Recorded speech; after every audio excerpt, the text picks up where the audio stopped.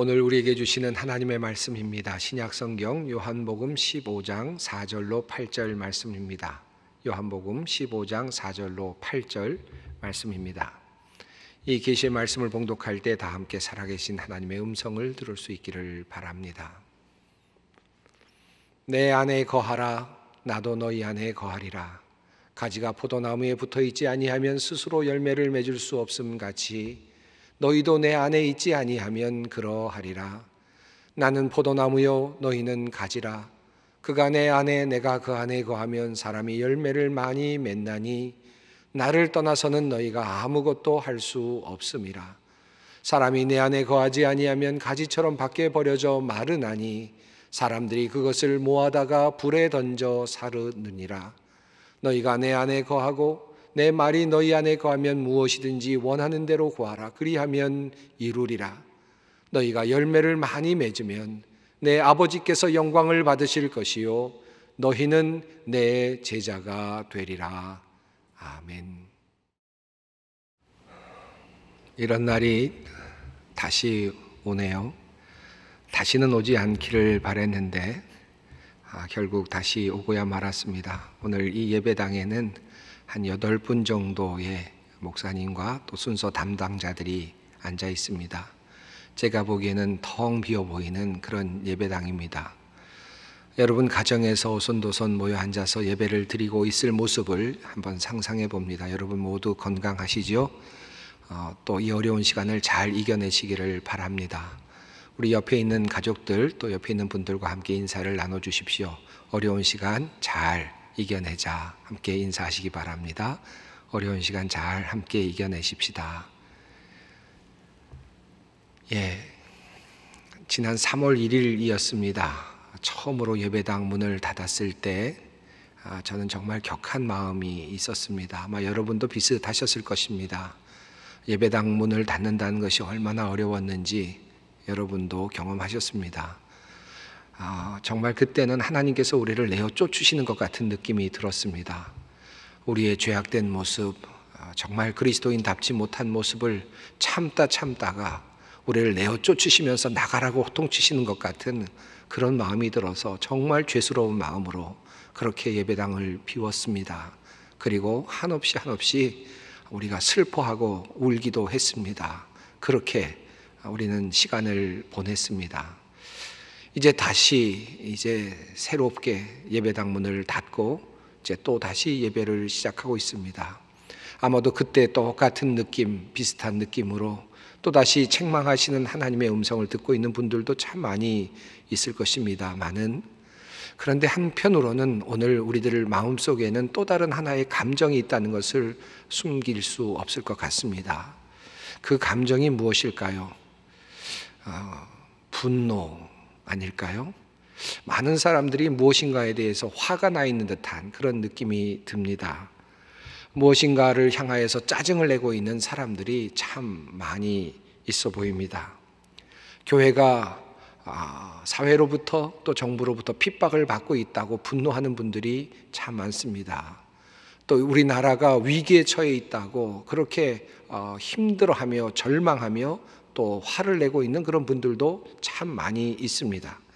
또 교인들을 이런 감염병의 상황에서 집회에 참석했다고 해서 또 그런 사람들을 또 비난하고 있는 그렇게 또 분노하고 있는 그런 사람들의 모습도 있습니다. 가정의 상황도 비슷합니다. 처음에 우리가 온라인으로 예배를 드릴 때에는 아, 그리고 코로나19가 시작될 때는 많은 사람들이 가정으로 돌아갔습니다. 또 가정에서 예배를 드리면서 가정이 회복되는 그런 경험을 하고 있다고 하는 그런 소식들이 들려왔습니다. 그런데 시간이 지나면서 점점 다른 방향의 소식도 들려오고 있습니다. 자녀와의 문제가 점점 더 벌어지고 있다는 소식도 들리고 또 이혼의 위기 가운데 있다는 그런 소식들도 들려오고 있습니다. 세대 간의 갈등이 더 깊어지고 있다는 이야기도 들려오고 있습니다. 참 힘든 삶을 우리가 지금 경험하고 있습니다. 우리 사회도 그렇습니다. 얼마 전 어, 통계를 얻은 어떤 한 조사가 있었는데 20대 청년 4,450명을 대상으로 조사했는데 코로나19의 상황 속에서 우울증을 겪은 적이 있는가 하는 그런 설문조사에서 약 70%의 젊은 20대가 코로나 블루를 겪었다고 코로나 우울증을 겪었다고 그렇게 아, 고백하고 있다는 그런 아, 소식이 들려오고 있습니다. 사랑하는 성도 여러분, 왜 이런 현상이 일어나고 있습니까? 우리 가운데 왜 이렇게 분노가 일어나고 있고, 왜 우울함이 있고, 또 이렇게 아, 절망스러운 일들이 마음이 생겨나고 있는 것입니까? 누가 무엇인가를 잘못해서일 수도 있지만 어쩌면 우리가 많이 지쳐 있기 때문이 아닐까 하는 생각이 듭니다. 광야길에서 물이 없다고 불평을 하던 이스라엘 백성들, 그리고 조금 더 지나서 먹을 것이 없어서 난동을 부리던 이스라엘 백성들이 생각나는 그런 시점입니다. 시간이 지날수록 사람들은 초조해지고, 그리고 그 긴 여행에서 지치게 되어 있죠. 그래서 그들은 불평할 수밖에 없었고 그리고 또 난동을 부릴 수밖에 없었을 것입니다. 오늘 우리는 지금 서로 많이 지쳐 있습니다. 정부도 지쳐 있고 공무원도 지쳐 있고 방역 당국도 지쳐 있고 교회도 지쳐 있고 일반인도 지쳐 있고 청년도 지쳐 있고 우리 모두가 지쳐 있습니다. 이 우리가 지쳐 있다는 사실을 정말 정직하게 인정하는 것이 필요합니다. 여러분도 아시다시피 우리 사회는 혐오 표현이 상대적으로 많은 그런 사회입니다. 그리고 그 혐오의 표현이 점점 더 늘어나고 있는 그런 사회 속에 우리가 살아가고 있습니다. 얼마 전 목회 데이터 연구소가 어, 조사한 내용을 보니까 2015년에 나타난 온라인 상에서의 혐오 표현이 약 407만여 건이 있었다라고 하는 조사가 있었습니다. 그리고 3년 후 2018년에는 온라인 혐오 표현이 약 1176만 건으로 급상승했다라고 하는 그런 조사가 있었습니다. 코로나19의 상황 속에서 이러한 혐오의 표현은 더욱더 늘어나고 있는 것을 우리가 경험하고 있습니다. 이런 혐오가 신천지를 향하여서 날새게 선 것 같더니 그리고는 국가를 향하여서 또 정부로 향하여서 그렇게 움직이는 것 같더니 그리고는 지금은 또 다시 교회를 향하여서 그러한 혐오의 표현이 그렇게 나타나고 있음을 우리가 경험하고 있습니다. 나름대로 교회는 열심히 나름대로 봉사하고 그리고 협조하고 또 바른 건강상의 모든 문제들을 해결하려고 노력했지만 그러나 이러한 비평이 우리에게 다가오고 있는 모습을 보면서 정말 당혹감을 금치 못할 상황이 되었습니다. 코로나19로 지친 많은 사람들이 교회를 향하여서 혐오의 언어들을 쏟아내고 있는 상황이 되었습니다. 아마 여러분도 이런 상황 속에서 참으로 마음이 괴로우시리라 생각됩니다. 어느 신도가 목사님에게 보낸 글이 하나 있는데 카톡 글이었습니다. 오늘 아침에 올라온 글인데 제가 이것을 여러분에게 한번 읽어 드리겠습니다. 코로나19로 힘든 사람 중에 하나가 저인 듯 합니다. 제가 이 과정을 다투지 않고 이겨나갈 수 있도록 기도 부탁드립니다. 믿지 않는 친정 식구들의 기독교에 대한 반감의 화살이 다 저에게 날아오고 있네요. 이단이 뭔지 모르는 아버지는 신문에 난 사랑제일교회 광고를 보고 이제 교회는 나가지 말라는 억지까지 부리고 계십니다. 언니 동생들은 기독교 예배 포기 못한다라는 교계의 반응 뉴스 사진을 저에게 날리며 과연 하나님이 계신 거냐고 이기주의 아니냐며 난리 난리 입니다. 제가 무슨 기독교 대표도 아니고 한국 기독교 대표도 아니고 조금 다투다 기도하고는 미안하다고 그리고 부끄럽다고 그렇게 이야기를 했습니다. 어쩌면 우리 주위에서 흔히 경험하고 있는 우리들의 모습, 교인들의 모습이 아닐까 하는 생각이 들었습니다. 어쩌다 이렇게 되었을까요? 또 다른 한 사례가 있습니다. 어떤 분이 이런 일을 겪었다고 합니다. 최근에 엘리베이터를 타고 올라가려고 했는데 누군가 어떤 사람이 막 타려고 달려오더라는 것입니다. 자기 자신을 보더니 멈칫하더니 뒤로 물러서고는 먼저 올라가라고 양보를 하더라는 것입니다. 왜 그런가 하고 생각해 보다가 가만히 살펴보니 자기 자신에게 들려져 있는 성경책이 보였습니다. 아, 교회 다녀온다는 것이 이렇게 사람들에게는 위협이 되고 있구나. 이런 생각을 하면서 참으로 놀랐다라고 하는 그런 이야기였습니다. 모두 이런 상황 속에서 지금 살고 있는 것이 아닌가 하는 생각이 듭니다. 교회를 향한 비난과 또 혐오의 표현들을 우리는 겪으면서 그렇게 살아가고 있습니다. 어쩌면 참 어이가 없기도 하고 참 황당하기도 하고 그리고 안타깝기도 하고 조금은 화가 나기도 하는 그런 상황을 우리는 겪고 있습니다. 그러다 보니 세상이 우리를 알아주지 않는 것을 보면서 도리어 세상을 향하여서 반감이 생기기도 하고 정부를 향하여서 반감이 생기기도 하고 또 우리 안에서 서로 잘못하는 모습을 보면서 서로의 잘못을 서로 비난하기도 하는 그런 상황이 되어가고 있습니다. 사실 이러한 모습은 우리들의 부끄러운 모습이라 할 수 있을 것 같습니다. 많은 분들이 오늘의 상황을 교회의 위기로 진단하고 있습니다. 교회가 정부로부터 박해를 당하고 있다고 말하는 분들이 있습니다. 세상 사람들로부터 외면을 받고 있다고 걱정하는 분들이 참 많습니다. 그리고 이제부터는 전도도 잘 될 것 같지 않다고 교회의 미래가 불투명해졌다고 그렇게 걱정하는 분들도 참 많이 있습니다. 하나님을 믿던 성도들이 뿔뿔이 흩어져서 이제는 나오지 않을 것 같다고 그리고 온라인 예배에 익숙해진 성도들이 이제는 예배당 예배엔 잘 참석하지 않을 것 같다고 기독교의 쇠퇴가 점쳐진다고 그렇게 이야기하는 분들이 참 많습니다. 그리고 기독교의 쇠락을 걱정하고 있습니다. 맞습니다. 그렇습니다. 그럴 수 있습니다. 아니, 그런 일이 지금 진행되고 있다고 할 수 있습니다. 그렇다면 어떻게 하면 되겠습니까? 어떻게 하면 이 위기를 우리가 극복해낼 수 있을까요? 어떻게 하면 이 위기로부터 우리가 탈출해서 기독교가 부흥하고 교회가 부흥하는 그와 같은 국면 전환을 이룰 수 있겠습니까? 어떻게 하면 될까요? 정부를 향하여서 목소리를 높여서 박해하지 말라고 크게 소리치며 투쟁을 하면 되겠습니까? 세상 사람들에게 그렇지 않다는 것을 알리기 위해서 어떤 강연이나 포럼을 개최하면 되겠습니까? 어떤 책자를 만들어서 사람들에게 배포하면 가능하겠습니까? 세상 사람들로부터 외면받지 않도록 세상 사람들이 좋아하는 일들만 골라서 하면 되겠습니까? 빨리 성도들이 흩어지기 전에 어떤 프로그램을 만들어서 무엇인가를 해야만 되겠습니까? 그렇게 하면 해결될 수 있을까요? 사랑하는 성도 여러분, 어떻게 하면 우리가 이 위기로부터 벗어날 수 있겠습니까? 이것이 오늘 우리의 고민이고 우리의 기도 제목이기도 합니다. 오늘 하나님께서 주시는 말씀이 있습니다. 이 말씀 가운데서 우리가 하나의 해결의 길을 찾게 되기를 원합니다. 오늘 본문 말씀을 통하여 우리 주님께서 우리에게 주시는 하늘의 지혜의 말씀입니다. 오늘 본문 말씀 8절 말씀을 먼저 읽겠습니다. 너희가 열매를 많이 맺으면 내 아버지께서 영광을 받으실 것이요 너희는 내 제자가 되리라. 이 주님의 짧은 말씀 속에 오늘의 위기가 있습니다.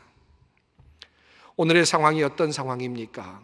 오늘의 상황은 한마디로 하나님께 영광이 돌아가지 못하는 사회 상황입니다. 그리고 우리 그리스도인들은 제자로서의 모습을 보여주지 못하고 있는 그와 같은 상황이라고 진단할 수 있겠습니다.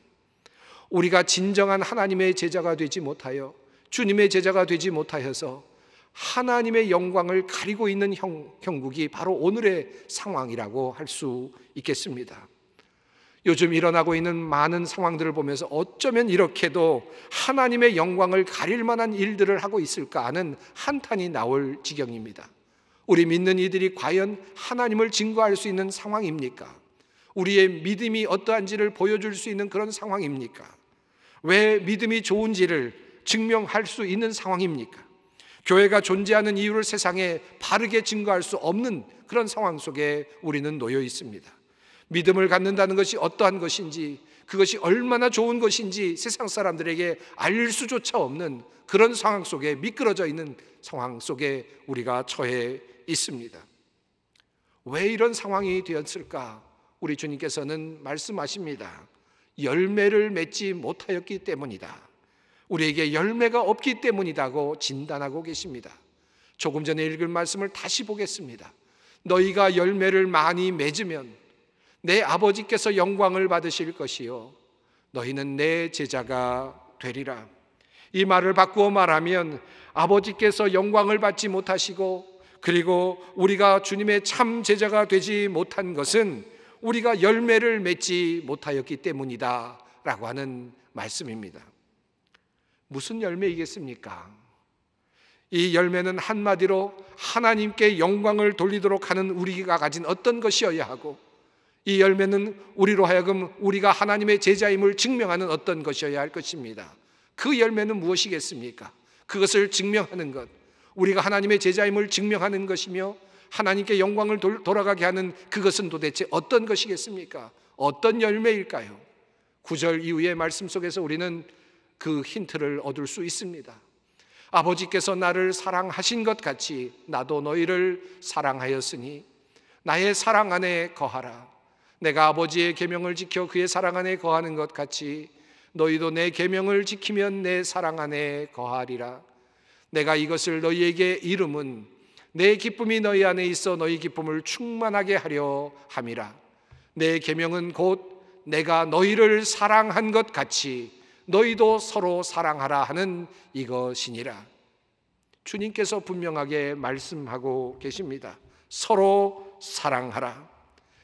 우리가 열매 맺어야 하는 그 열매는 바로 사랑이라고 하는 말씀을 주님께서 하신 것입니다. 사랑하는 성도 여러분, 하나님께 영광이 돌아가도록 하는 것은 무엇이며 우리로 하여금 제자임을 증명할 수 있는 것이 무엇이겠습니까? 그것은 바로 사랑입니다. 사랑이 그러합니다.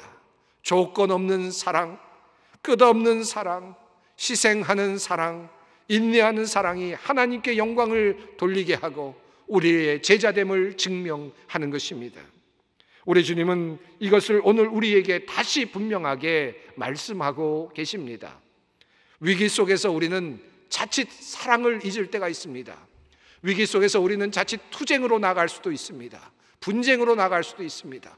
위기 속에서 우리는 무언가 전쟁으로 나가려 할 때도 있습니다. 분노할 수도 있습니다. 그러나 우리 주님께서는 다시 우리에게 말씀하십니다. 이 위기 가운데서 우리가 놓지 말아야 할 그것은 바로 사랑입니다.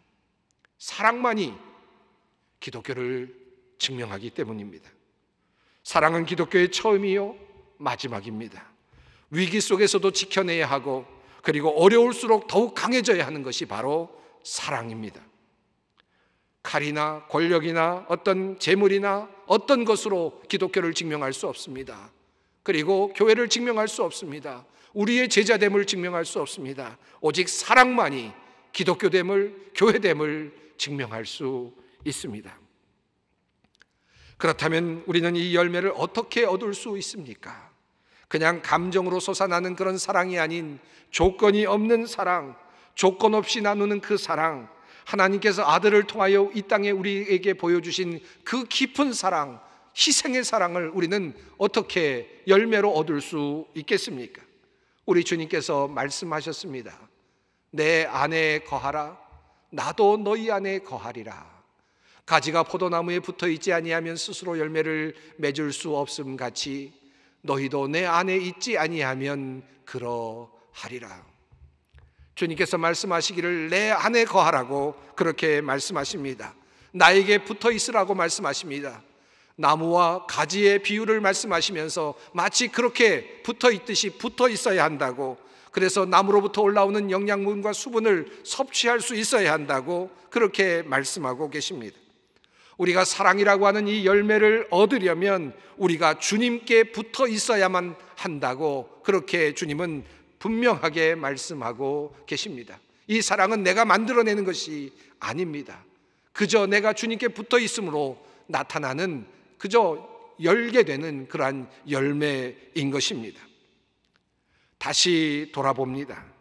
우리가 정말 주님께 붙어 있습니까? 정말 우리가 주님께 붙어 있었습니까?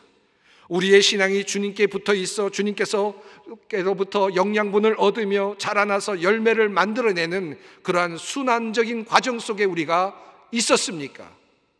라는 질문을 다시 던집니다. 교회에 붙어 있었는지는 모르겠습니다. 교회 생활에 붙어 있었는지는 모르겠습니다. 물론 이것도 중요하지요. 그러나 우리가 교회에 붙어 있고 교회 생활에 붙어 있고 그렇게 했던 이유가 무엇일까요? 교회 생활을 열심히 하고 봉사도 열심히 하고 그리고 주일 예배도 빠지지 않고 나왔던 이유가 무엇이었겠습니까? 교회 자체에 붙어 있기 위해서가 아니라 주님께 붙어 있기 위해서 주님과 함께 하기 위해서 했던 것이 아니겠습니까? 이제 우리는 다시 돌아봅니다. 나는 과연 주님 안에 있는가? 주님께 붙어 있는 존재인가? 아니면 나는 지금까지 무엇에 붙어 있었으며 무엇에 붙어 살고 있었는가? 무엇으로부터 양분을 얻고 있었는가를 진지하게 물어야 합니다. 교회 안에 붙어 있었다면 이 분리가 어쩌면 두려울 수도 있습니다. 교회에만 붙어 있었다면 이 분리가 우리에게는 큰 두려움일 수 있습니다. 그러나 우리가 주님께 붙어 있었다면 이 분리는 교회 밖에 나가서 예배를 드리는 이 분리는 결코 두려움이 아닐 것입니다. 우리 주님께서 또 이렇게 말씀하셨습니다. 너희가 내 안에 거하고 내 말이 너희 안에 거하면 무엇이든지 원하는 대로 구하라. 그리하면 이루리라. 이곳에서 우리 주님께서 분명하게 말씀하신 내용이 있습니다. 내 안에 거하는 것이 무엇인가? 그것은 바로 내 말 안에 거하는 것이다. 말씀 안에 거하는 것이다. 라고 그렇게 풀어 설명해 주신 것입니다. 다시 말씀드려서 주님 안에 거한다는 것은 주님의 말씀 안에 거한다는 것입니다. 주님의 말씀이 우리 안에 들어오게 하는 것입니다. 그것이 바로 주님 안에 거하는 것이라고 주님은 말씀하십니다. 가지가 나무에 붙어 있듯이 말씀에 붙어 있어야 한다는 뜻입니다. 주님의 말씀으로부터 양분을 얻는 것을 말하는 것입니다. 그러면 주님께서 우리에게 사랑의 열매를 선물로 허락하시는 것입니다.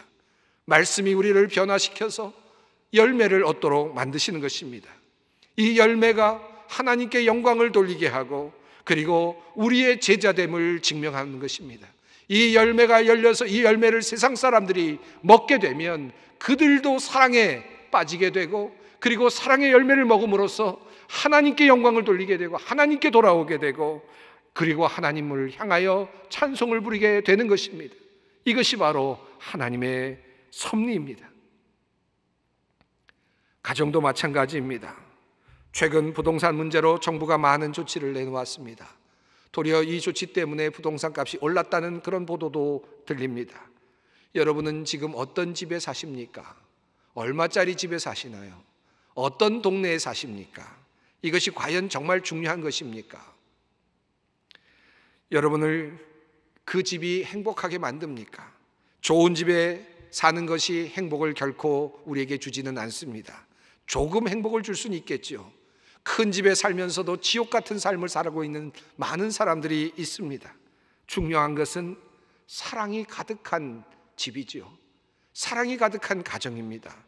그러면 어디에 있든지 상관이 없습니다. 조금 작은 집에 살더라도 사랑이 있으면 그 집은 행복한 집이 되고 기쁨의 집이 되는 것입니다.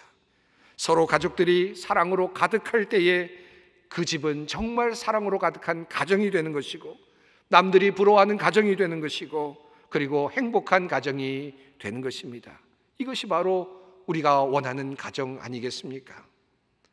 요즘 많은 분들이 교회가 박해를 당하고 있다고 교회의 미래를 걱정합니다. 교회가 쇠락해질 것이라고 걱정합니다. 여러분, 너무 걱정하지 않으셔도 됩니다. 하나님이 계시잖아요.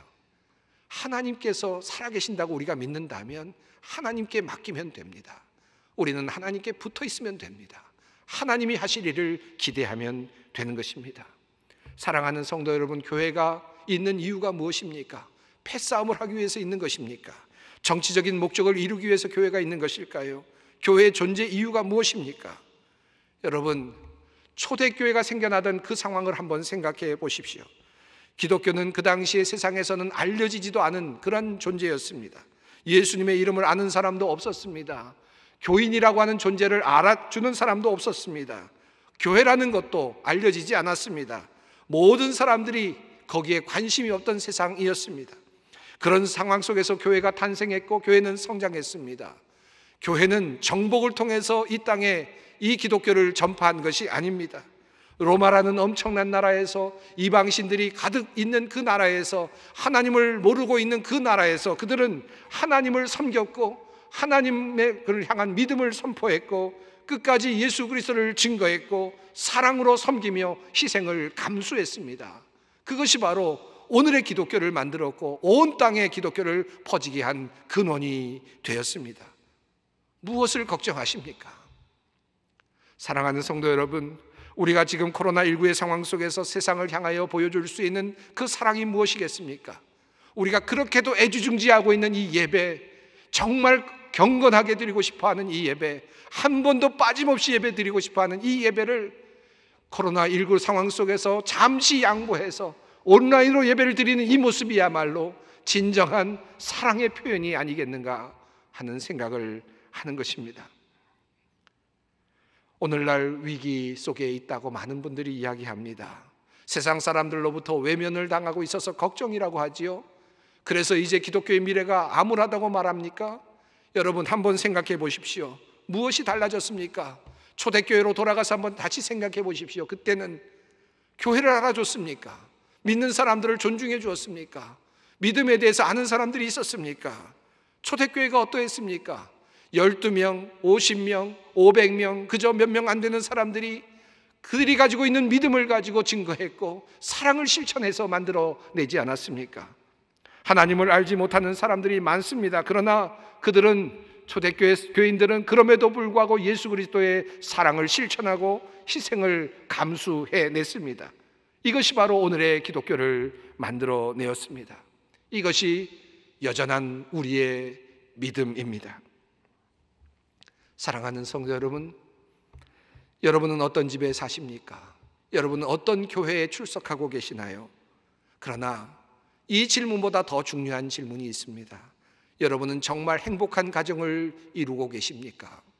이것이 오늘 우리가 물어야 할 질문입니다. 그리고 여러분은 정말 주님 안에 거하고 계십니까? 주님으로부터 말씀을 받고 그 말씀으로부터 생명을 얻고 그래서 그것으로부터 열매를 얻어가는 그러한 순환의 과정을 경험하고 있습니까? 오늘 우리는 이 질문 앞에 서 있습니다. 우리 주님 말씀하십니다. 세상이 너희를 미워하면 너희보다 먼저 나를 미워한 줄 알라. 너희가 세상에 속하였으면 세상이 자기의 것을 사랑할 것이나 너희는 세상에 속한 자가 아니요 도리어 내가 너희를 세상에서 택하였기 때문에 세상이 너희를 미워하느니라. 세상이 우리를 미워하는 것은 너무나도 당연한 것입니다. 우리가 세상에 속해 있지 않기 때문입니다. 그러므로 우리는 그 세상의 반응에 대해 연연할 필요가 없습니다. 그리고 주님은 또 다시 이렇게 우리에게 당부하십니다. 내 계명은 곧 내가 너희를 사랑한 것 같이 너희도 서로 사랑하라 하는 이것이니라. 사람이 친구를 위하여 자기 목숨을 버리면 이보다 더 큰 사랑이 없나니 이는 너희는 내가 명한 대로 행하면 곧 나의 친구라. 사랑입니다. 여전히 사랑입니다. 투쟁이 아닙니다. 분노가 아닙니다. 사랑입니다. 주님은 우리에게 그것을 오늘도 당부하십니다. 기도하겠습니다. 하나님, 험한 세상 속에서 하나님을 부인하며 교회를 박해하고 멸시하는 세상 속에서 우리를 제자로 불러주시니 감사합니다. 지금까지 우리가 참된 제자가 되지 못하여 주님의 영광을 드러내지 못하였음을 회개합니다. 하나님, 우리가 주님의 말씀 가운데로 깊이 들어가 주님 안에 거하게 하옵소서. 그리하여 사랑의 아름다운 열매를 맺게 하시고 주님의 교회를 다시 바로 세우는 종들이 되게 하옵소서. 예수님의 이름으로 기도드립니다. 아멘.